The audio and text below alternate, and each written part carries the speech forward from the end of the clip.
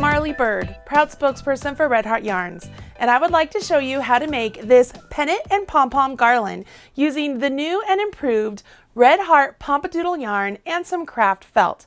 It's really easy and just uses a few supplies. For this project, you will need one skein of Red Heart Pomp-a-Doodle yarn in the color of your choice. You will also need some felt sheets, a good pair of scissors, and some glue to attach the felt to the Pomp-a-Doodle.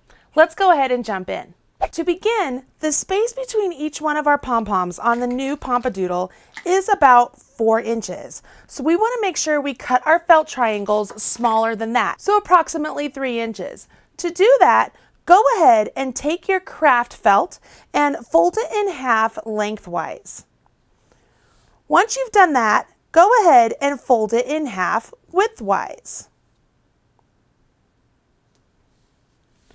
Once you have folded it in half widthwise, on the end that has the, the fold, okay, we want that one closest to us. So I have a fold over here and a fold over here.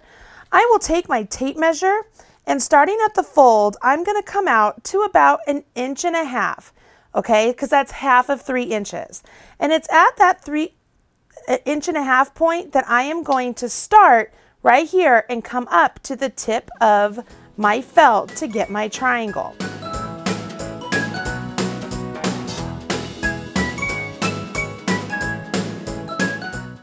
By cutting it along that portion, we have left the fold open. So now this fold can rest directly onto the string attaching the two Pomp-a-Doodles.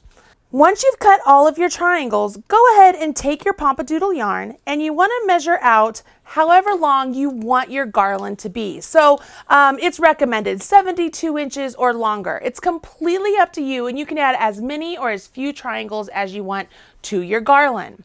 Once you have your garland measured out, I like to keep two or three palms unused before I jump into where I'm going to add my pennants. Once I find the position I want my pennant, go ahead and take your triangle you cut and position it between two of the palms. Then you'll take your crafter's glue and simply add a little bit of glue to the felt itself and fold the pennant over the Pomp-a-Doodle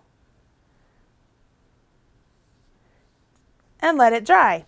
And there you have it. You've created a really cute pennant and pom-pom garland that you can use to decorate your next party, baby shower, or heck, maybe even just a room in your house.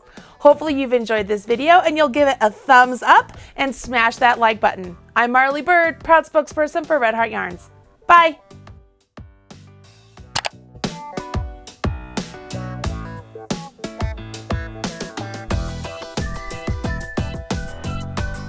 Everything you need to know about knitting or crochet can be found right here on the Marly Bird YouTube channel. Learn with Marly Bird. Visit youtube.com forward slash Marly Bird.